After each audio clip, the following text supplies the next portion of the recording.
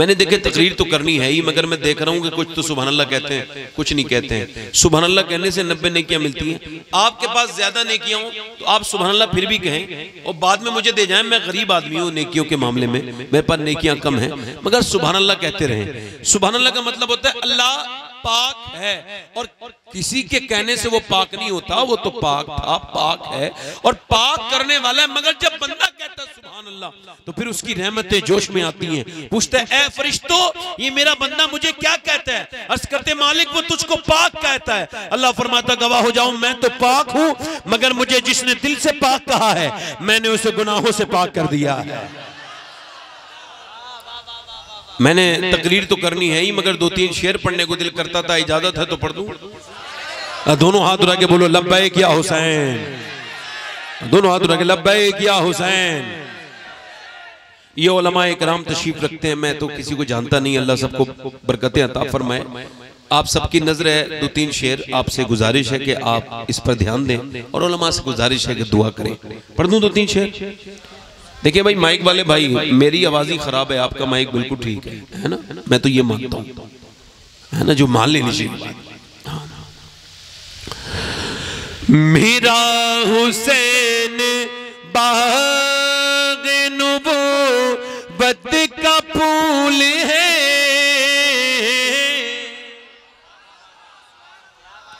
मेरा हुसैन बाग नुबो बद का फूल है। मेरा हुसैन बागे। मेरा हुसैन बागे नुबूवत का फूल है। मौलाली की जान है। खूने बतूल है। मौला अली की जान है। खूने बतूल है और गुजरा जहाँ जहाँ से नवासा रसूल का। गुजरा जहाँ जहाँ से नवासा रसूल का। अब तक वहाँ खुदा के करम का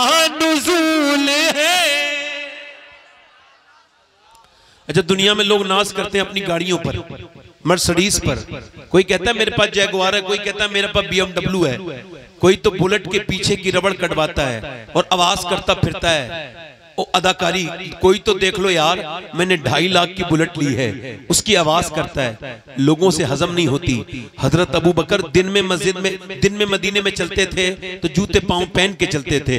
रात को चलते थे तो जूते उतार देते थे। पूछा, हुजूर, ये रात को जूते उतार के क्यों चलते हैं? पर मैं मैं नहीं चाहता कि मेरे पाँव की आवाज़ से किसी मुसलमान की नींद खराब हो जाए। दुनिया को बड़ा नाज है सवारियों पर ये शेर समाप्त करें।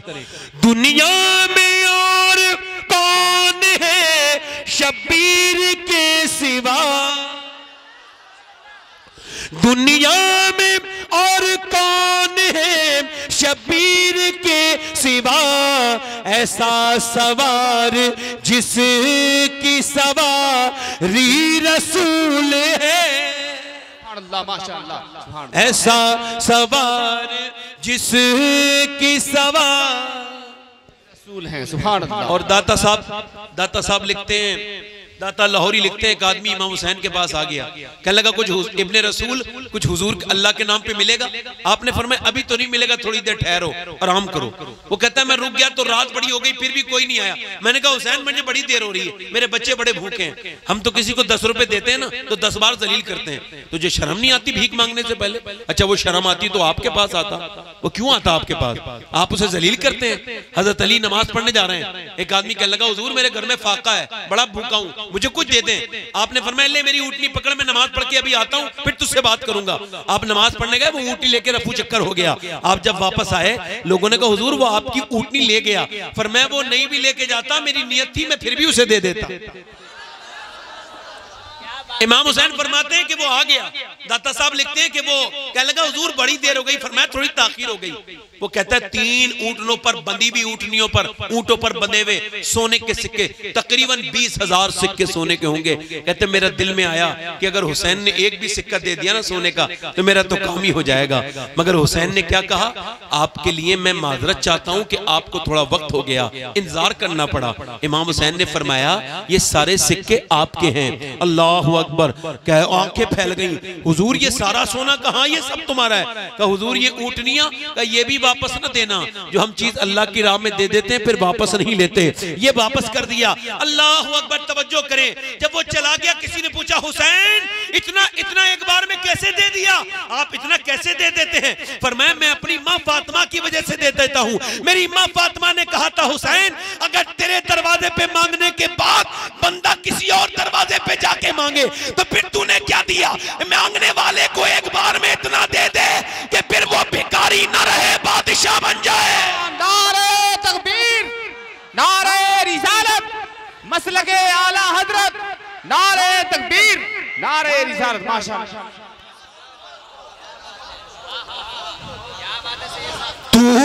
के दर से मांग ले जो चाहे जी करे। मालिक सभी जहान के आले रसूल है। और जिसके लिए यजीद ने इतने सितम किए वो ताज तो हुसैन के कदमों की धूल है।